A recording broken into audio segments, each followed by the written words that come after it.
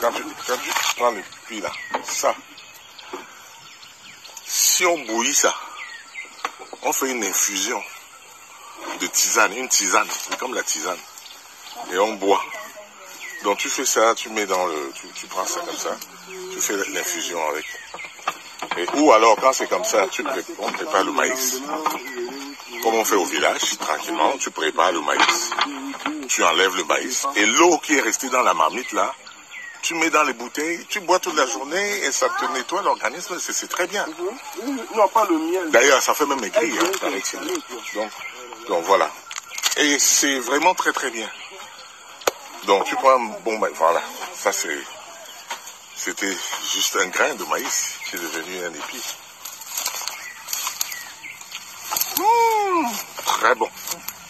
Très bon. Vraiment sucré. Là, tu vois, il a encore toutes les vitamines. Tu n'as pas...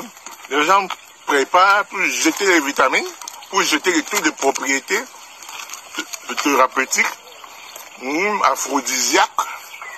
Ils jettent.